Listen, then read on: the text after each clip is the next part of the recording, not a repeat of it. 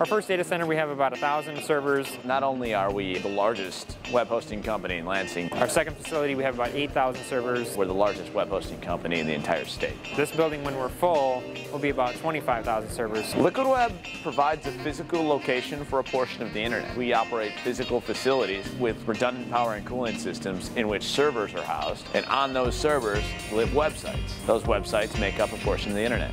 ActiveOffice is a- an online suite of tools. So what we create are applications that allow people to keep business documents, project management, sales management in a cloud environment, and they access it through the internet. This whole section, relatively quickly, depending on the response to the product, could be full within a couple months.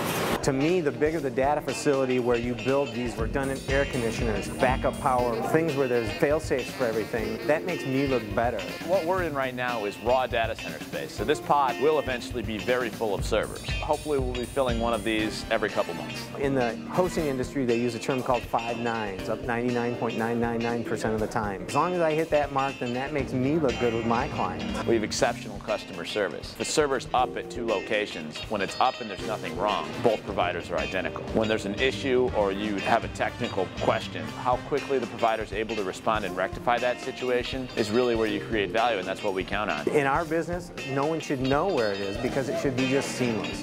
And Liquid Web's facility looks like that's what it's going to do for us. We do give people local access to the high-tech resources. Global internet lives in facilities like ours, and we're here.